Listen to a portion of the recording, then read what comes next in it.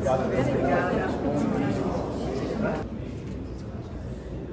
Hoje, é, empossar três secretários, e não é por mudança, na verdade é por uma reforma administrativa, na verdade uma secretaria bastante grande, que é a Secretaria de Planejamento e Gestão, nós fizemos aí uma opção em segmentá-la. Foi troca de secretário, até porque a Carla e o Matheus, eles estão compondo uma secretaria que existia antes, né?